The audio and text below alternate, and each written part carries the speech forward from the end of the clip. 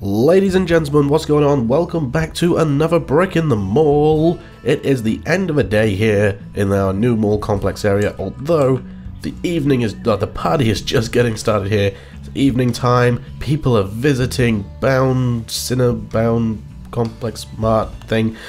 Um, yeah, our new cinema theatre is up and running. We're a little bit low on the cash, we're into negatives, but that should be fine. I'm not going to be doing any time lapses. I'm going to be doing a little bit of micromanagement at the beginning of today's episode.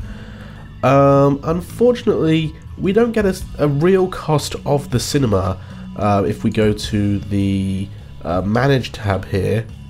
Because if we go to the ticket lobby, that's fine. We can see how much the ticket lobby is costing us, but we can't see how much the screens are costing us. Uh, but roughly, uh, if we take a look, let's see, objects. Uh, each spectator seat costs $1 a day, and each movie projector costs $10 a day. So, okay, only $30 a day, theoretically. What about the door? Maintenance costs a dollar. what about walls? I never saw this if walls and foundations cost maintenance. So technically each screen costs $31 a day, so that's four screens, so that's $124. Add that onto here.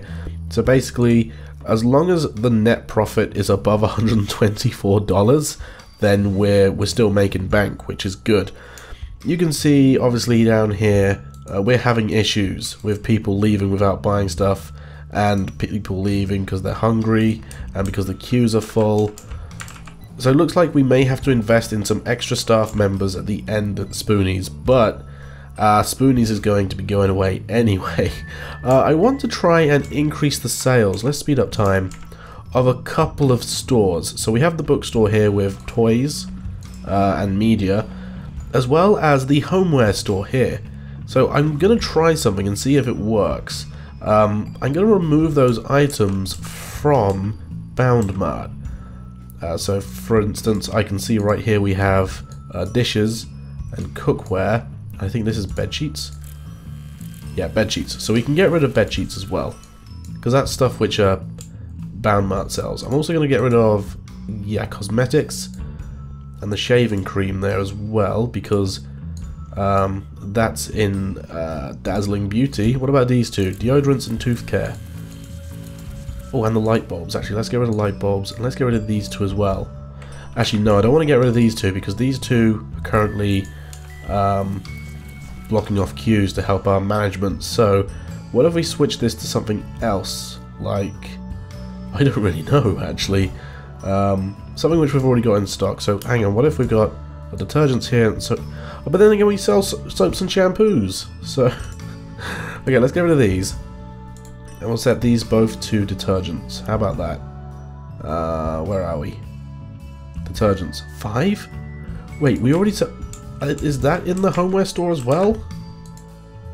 And electricity detergents. Oh my goodness. We sell pretty much everything in the homeware store now. Uh, what are these? Toilet paper, pads and tampons, diapers. You know what? We're gonna sell more toilet paper because. oh my goodness. Let's let's sell like oh my, where where is it? Household item. No, no toilet paper. There we are. Right there. Health and beauty toilet paper.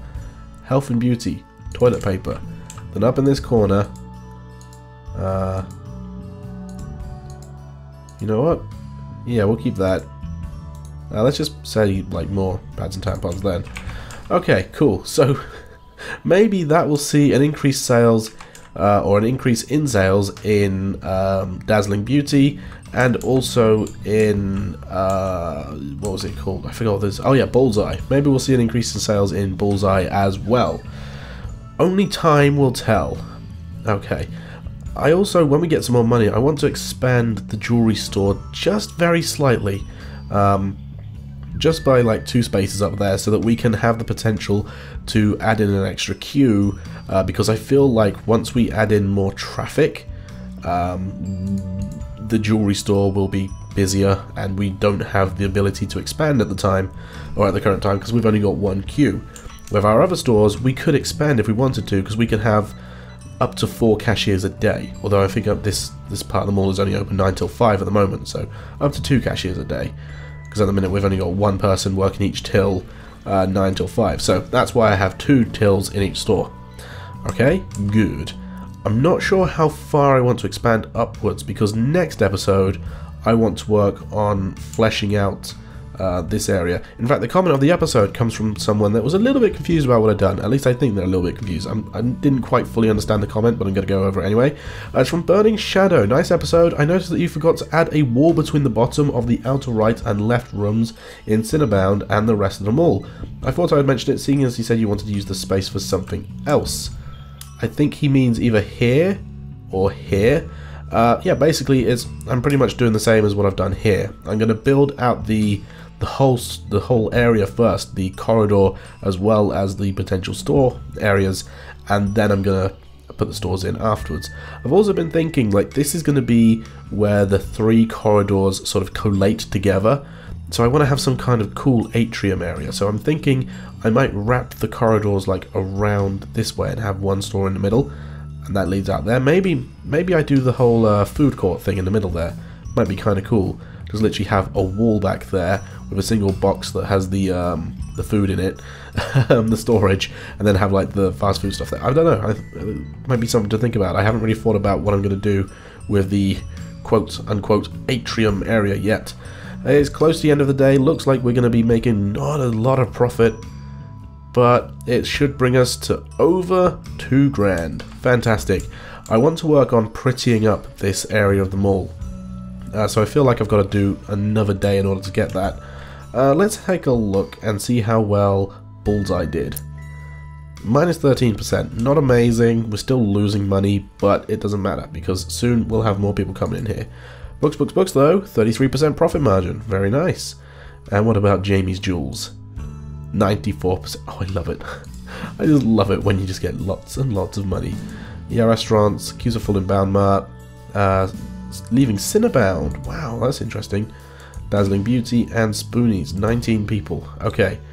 Right. I've been talking for long enough. We need to start working on stuff. Um, first of all, I definitely want to put in a door, although it is a thousand dollars. Great, that's pretty much all of the work I can do today, isn't it? Let's head on over to Bound Mart and see exactly what's going. Okay, it looks like lots of people are going to the pet food here, which is surprising actually. Oh, and hey, you guys never gave me an idea for what to call a meat store, so boohoo to you guys. Like, I'm joking. I'll, I'll, think of something. Um, okay, yeah, the Bound Mart store is getting quite full. Abercrombie and Finch has been doing a lot better though, probably because we extended the hours, but remember, the new clothing store we build, I don't know if it's going to be Abercrombie and Finch or not, we need to make it so there's two queues, at least two queues in there. Uh, because the one store, oh my goodness, I haven't checked this for ages actually. Um, DB World, let's take a look. Look at that. Oh my goodness. that is, like, let's see, profit, 23,000 gross. That's a third of our profit in one store right there. I mean, if I could increase the profit, then I would, but I don't see how I'm going to do that. Like, technically, I could have the stock clerk in for less time, but I think I've actually currently got two stock clerks in um, so, yeah, whatever. I think it's working fine. I'm really just waiting out time uh, to try and get some more cash in, which could be fantastic. Again, quite a lower profit today. Doesn't seem that great. Let's speed up time, maximum speed. I know I don't like doing it much, but when time, or when I'm waiting for time to finish so that I can actually do something in the episode, it's kind of important. Aha, looks like I'm going to need some stock clerks. Oh, could that be what the problem with Spoonies is? There's no stock clerk filling up the food. Let's take a look. Fast food restaurant stuff. Uh, so we've got... We need a stock clerk in later. Of course, because we're going to be busier now, so... Let's have both the stock clerks in for six hours. And that way we shouldn't run out of food during the evening. I never noticed that before. So basically the stock clerk needs to bring food to the cook it seems stupid. It really does seem stupid to have a stock clerk dedicated to that task. You know, that's the only thing we have to hire a stock clerk for.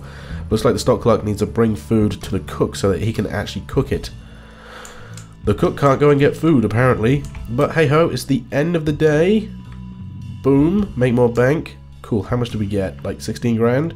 16 grand. Let's first of all uh, flesh out our cinema here, and I kind of want to make it look like it's a red carpet. Uh, so if we go to floor tiles, I want like red carpet down the middle. Do I want red carpet down the middle? Oops. Well, I got red carpet there, that's for sure. Um, let's put red carpet there, there. So in the screen, because you know you typically have red carpets in the screen. Do I just have red carpets in here as well, or do I do like some cool boardwalk thing? Dang it. um, something like this is what I was thinking. Uh, then go to like there and there. That was my thought, and then have like laminate flooring around the outside. Although I think I'm just going to go ahead and just make it all red carpet anyway. That way it's kind of like obvious where... Have I run out of money already? Jeez, okay. So, I've now spent... Oh, that looks hideous. oh, in fact... Whoa. I spent... I'm, I'm spending more money than I actually have on floor tiles. I'm in negative money and it's not letting me stop. That's interesting. What if I was to switch to that? Huh? How strange. 600, 500, 4, 3. How weird. There's some sort of size constraints. So if I do 3 across, it will let me put it in. If I go down to 4 down, it won't. So anything if one of the edges is longer, or if both edges are longer than 4x4, it won't let you go over, but if it's less than 4x4, it will. Huh, how strange. I'm just going to go into debt and do this anyway, because I want it to look pretty. um, let's get the grey ones in here. That is such a bizarre thing. And I know I'm spending way too much money that I don't have, but I don't care. I want my store to look pretty. Okay? I want to actually do progress in this episode. You know what? Let's just speed up time because I'm pretty sure it'll be fine. Uh, and in these stores, uh, what do we want? So a bookstore, you kind of have carpet in a bookstore, don't you? And then I think what I want in the main mall is uh, like wooden laminate flooring. So let's go like this. How strange that we can do a, a three wide flooring and we can just go into debt because of it. Okay, like so. And then let's do carpets in here. Like this. In the jewelry store, definitely we want carpets in there because it's fancy. Let's put some flooring behind the doors, or under the doors for there. Um, and then we just need, like, flooring for books, books, books, and for the home goods store. Although for the home goods store, I'm kind of tempted just to go with normal tiles, just maybe a slightly different color. Um, maybe yellow. Let's go yellow. Actually, it'll be quicker if I do it like that. Oh my goodness, it's costing us so much money. Ah, okay. And for the bookstore, let's just go green. Why not? Okay, we are back in debt again, guys. Uh, but hey, our store is looking a lot prettier. Uh, I think I'm going to call it quits here. I'm, I'm sorry we didn't really do much. Hey, less people left because of Spoonies, I think. Oh no, let's have a look. Do we do we have food in Spoonies? Yeah, the, he, at least he's got food, so that's good. Um, we are quite far in debt again now. Dang it, man.